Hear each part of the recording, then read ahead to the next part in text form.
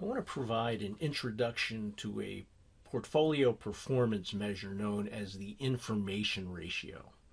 So, what this does is it measures portfolio performance by looking at the ratio of excess return to risk.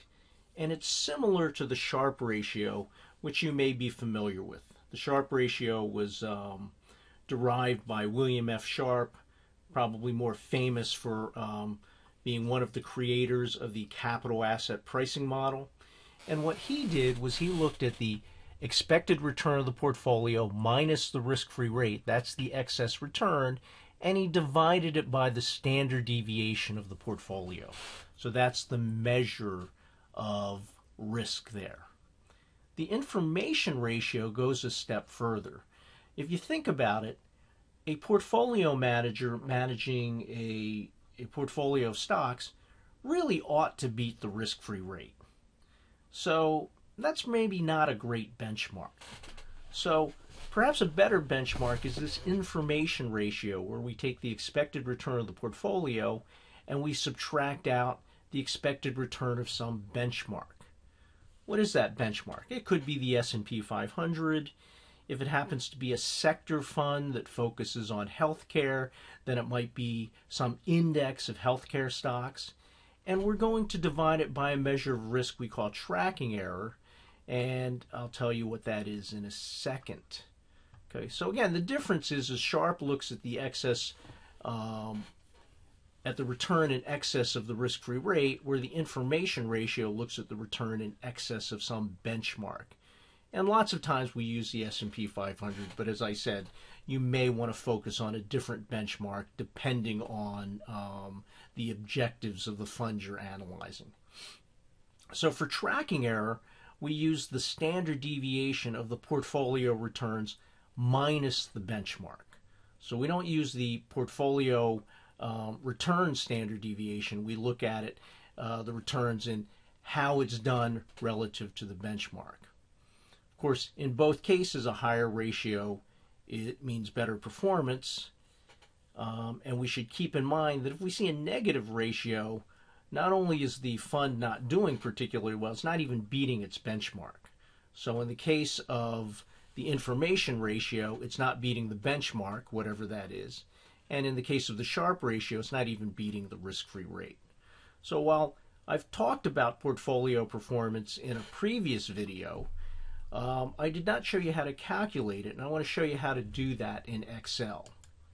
So here I have some data and I've done some some manipulation. So I have here some portfolio returns. So you can go to Yahoo Finance, for example, and look up the price data for some mutual fund you're interested in, and then you can convert them into returns. Okay, I've already done that here. You can also look up the returns for some index like the S&P 500 and you get the prices and then you can convert those into returns as well. All right, I'm going to assume that the risk-free rate is 0.25%.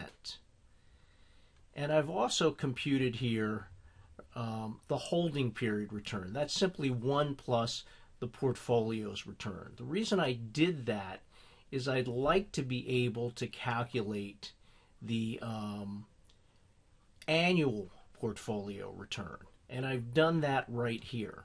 So I don't want to just sort of add these up, divide by 12, and then multiply by 12, because that would be an average of, of um, 12 months returns, I want to assume compounding here. So what have I done here? Okay, Up here, I don't know how well you can see that, I've used the geometric mean function, which is going to do the calculation of raising this to the um, to the 1 12th power since we have 12 observations.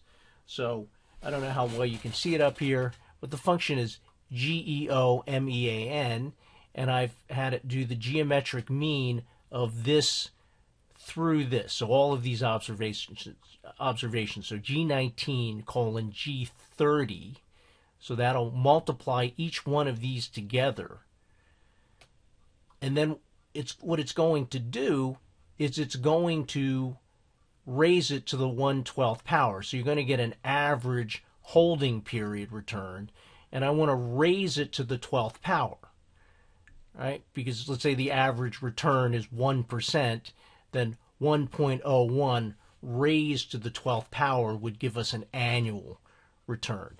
And then, or would give us 1 plus the annual return. Then we want to subtract 1 from it.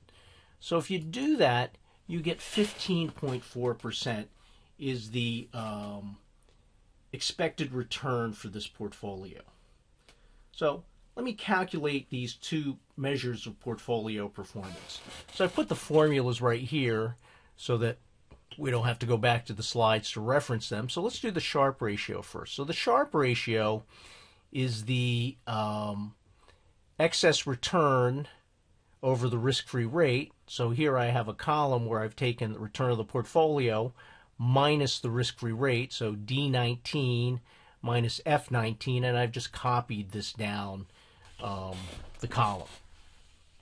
And I want to divide by the standard deviation of the portfolio returns, and I've actually already done that here. I've used the stdev.s function, which calculates the sample standard deviation. So when you use standard deviation, you type in stdev, you'll see several that will pop up. One will be .p, that's the population standard deviation. Okay, this is not a population. This is a this is a sample. So the real difference the difference is is that the the sample standard deviation divides by n minus one. The population standard deviation divides by n. If you have enough observations, you're not going to get that different an answer. But the, there's not a lot of observations here. So I get 3.52%.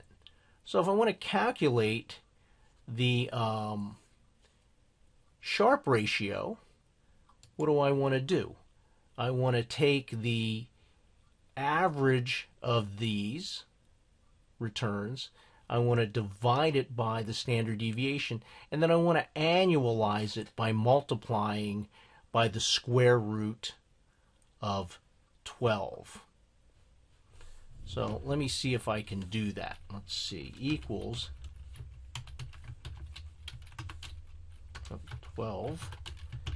So I'm going to take, again, the average returns here, or average excess returns equals av average H19 to H30 divided by um, the standard deviation, which is in D31. And hopefully I've done that right. I get 0.990183 as the Sharpe ratio. For the information ratio, I want to do the same thing, but I need to find the standard deviation of this. This, this is the tracking error, right? The difference between the returns on the portfolio and the risk-free rate. So let me do that, STDE, and you'll notice down here they give you several, right? Dot .p, dot .s, um, one with nothing. If you use the one that doesn't have anything here, that also gives you the sample standard deviation, but I'll put in dot .s just so we know. And again, it's I-19 to I-30. So I have my tracking error of 2.95% here.